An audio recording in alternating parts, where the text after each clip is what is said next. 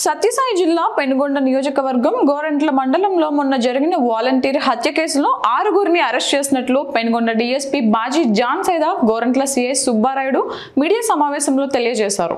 గోరంట్ల మండలంలోని కొత్తపల్లి కొత్త బోయనపల్లి గ్రామం దగ్గర జరిగినటువంటి హత్య కేసులో క్రైమ్ నంబర్ నూట అరవై ఐదు బారు ఇరవై నాలుగు కేసులో ముద్దాయిలైనటువంటి సైఫుల్లా కుమారు రఘునాథ్ యాదవ్ గణేష్ కుమారు హేమంత్ కుమార్ మరియు సాయినాథ్ యాదవ్.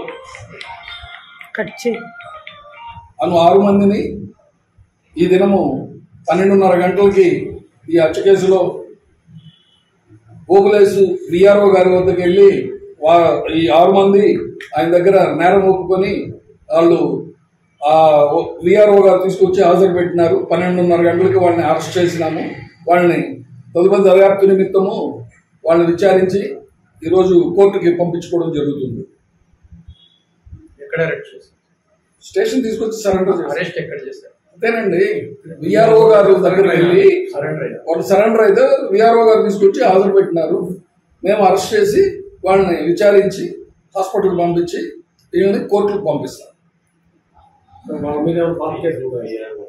ఒక సాయి గణేష్ సాయి అనే అతని మీద అమ్మాయిని ఒక అమ్మాయిని ప్రేమించి పెళ్ళి చేసుకున్నాడు. ఆ అమ్మాయి మైనర్. అయితే ఆ కేసు ఒకటే ఉంది. ఒక వ్యక్తి మీద. క్షణం ప్రావకేశం అంటే ఇది మందు తాగే దగ్గర ఓ గలాటాలు పడుకొని ఒకళ్ళకొకళ్ళు దాన్ని వెంబడించి అక్కడ కొట్టుకున్నారు మన ఏరియా దగ్గరకు వచ్చి. అక్కడ జరిగిన అక్కడ జరిగిన గొడవకి రిటాలియేషన్ ఇక్కడికి వచ్చి.